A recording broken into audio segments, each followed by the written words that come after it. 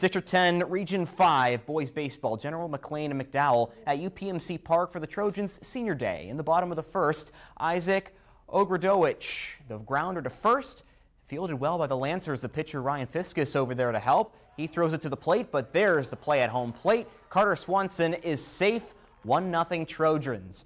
And in the same inning, bases loaded, Ian Chalansky singles to left, and that plates two more runs for the blue and white. Chalansky had two RBIs on the afternoon, those two right there. The final from UPMC Park 7 5, McDowell fends off the Lancer comeback.